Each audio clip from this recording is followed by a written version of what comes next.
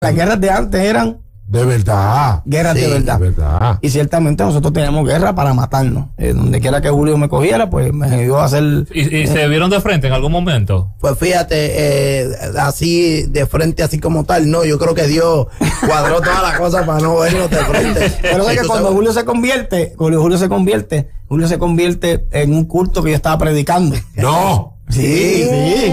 Así fue todo. Explica, explícale tú, Julio. explícale. No, lo que pasa es que como tú, habla- como tú me estabas diciendo, yo llegué a ese culto en depresión, yo llegué con la pistola debajo del asiento, No. bote de pastillas, los cigarrillos, la cerveza, yo vine hecho un loco.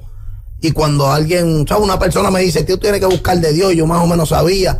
Y me invitaron para ese culto. Y cuando yo llego, me sientan, me sientan en la parte del frente. Y yo nada, estoy mirando el culto, los cristianos adorando a Dios. Y de momento, cuando sale el predicador, yo dije, me voy, porque este hombre es enemigo mío.